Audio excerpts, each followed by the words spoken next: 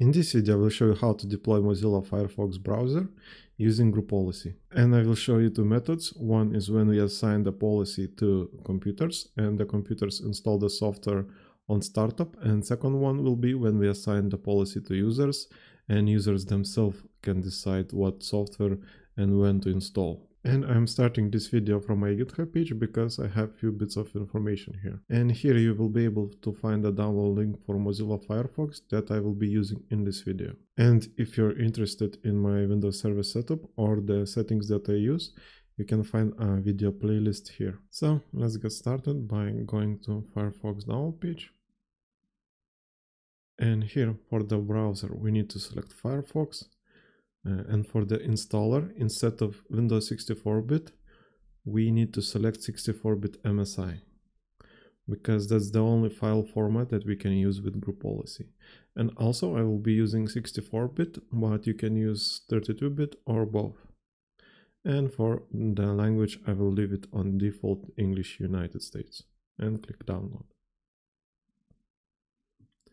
Now let's go to our downloads folder and now that we have our installation file, we need to move it to our server. So I'll just copy it and then go to my VMware workstation where I have my Windows Server installations. And I will paste it on the desktop. And now we need to move it from the desktop into a network share because we cannot use local paths for software deployments. And I have a file server named SRV02 and it has a share named software. And here I will create a folder. I will call it Firefox. And then I will move the MSI package there.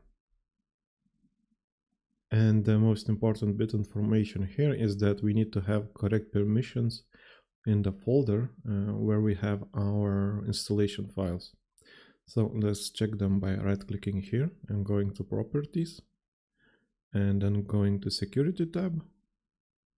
And as you can see, in my case, I have authenticated users with uh, read permissions. And the name authenticated users are a bit misleading because authenticated users covers both users and computers. And that means that both computers and users have the rights to access this share and read the files that are inside of it. And if you're not using authenticated users, you, for example, can use domain users and domain computers, just make sure that you're selecting the correct one for the deployment that you choose. And that's it for the permissions. If you want more details, you can watch my file server installation video. Okay, I'll close the window. And now we can go to the server manager and start creating our group policies. So for that I will go to Server Manager, click on Tools and select Group Policy Management. Next I will expand Group Policy Objects and also I will right click on it and click New. And the first policy that I will create, I will call Publish Firefox. And now let's right click on it and click Edit and we will use this policy to publish software to users so the users can install the software themselves from the control panel. So in this case, we need to go to user configuration, expand policies, expand software settings and select software installation. Now let's right click on software installation, hover over new and select package. And here we need to make sure that we are selecting the installation package from a network path and not the local path. For example, if I go to my desktop and select the executable from here, the installation would fail because the clients don't have access to this uh, server's desktop folder. So once again, I will go to my file server by typing here the file server name, srv02, click enter. Now we see in the software share Firefox folder that we created and I will select the MSI that's located here. And here we'll leave it at publish and click OK. And that's it for creating this group policy. We can also right click on the package, go to properties and make few changes if we want to.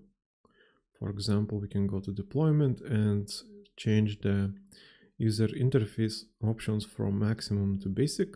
And that ensures that when installing software, user will not get many options to change the default settings. So I will leave it at basic and click apply and OK. Now we can close this window. Also, let's select the policy that we created. Then go to details and let's disable uh, the uh, computer configuration because currently this policy has only user side configurations on it. And the only thing that's left is to link this policy to organization unit that holds our users. In my case, I have this organization unit that's called domain users. So I'll click and hold and then drag the policy to that organization unit. And that's how we can link it. And now let's go to one of my client computers and see if the software that we published is available to my users. So first we need to open a command prompt and do a gp update. I also have this icon here that allows me to go directly to the software installation menu. So I will double click it and as you can see now we have Mozilla Firefox here. And this user has no administrator uh, rights in this computer but because we published the software to him he can install the software from this menu. So let's try to install. I will double click on the software. As you can see we are not getting any settings or changes that we can do and it seems that Firefox installed successfully and that's it for publishing software for users. And now let's go and create another policy. In this case, we'll assign software to computers so that the software installs automatically on computer startup. So for that, let's go back to my domain controller. And here we have our group policy objects and let's right click it and click on new. And I will name it assign Firefox. And let's right click the newly created GPO and then click edit. And in this case we're making policy that we will uh, apply on our computers. So that's why we need to go to computer configuration policies software settings and then select software installation then let's right click it and go to new and package. And once again we need to select the installation file from our network path. And let's double click it. And here we can leave it a default uh, on assigned. Let's click ok. And that's it. We have created our policy. We can close this window.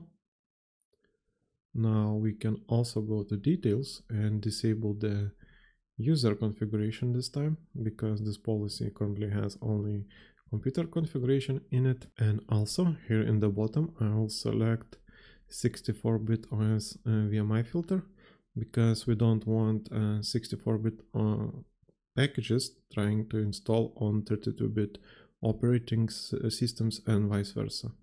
And if you want to create VMI filters yourself, I have a link to my YouTube video in uh, the GitHub page. So the last step that we need to take is to link this policy to organization unit that is holding the computers on which we want to install the software. So for that, once again, I will click on the policy on hold and then drag it to the organization unit that is holding my computers. See, it's linked now. And now let's go once more to our client computer. And this is a different computer, as you can see. And this one uh, doesn't have Firefox in it. So let's open command prompt and do a GP update. And as you can see, it's saying that it detected a software installation. And for that to happen, that we need to uh, do a system reboot. Uh, so for that, I will go to start and then power button and restart the, the virtual machine. and let's see what happens. And as you can see, it is saying that it's installing Mozilla Firefox. Now we can log in back to the machine. And as you can see, we have our Firefox browser installed. And that's it for this video. Like and subscribe if you want to see more and see you in the next one.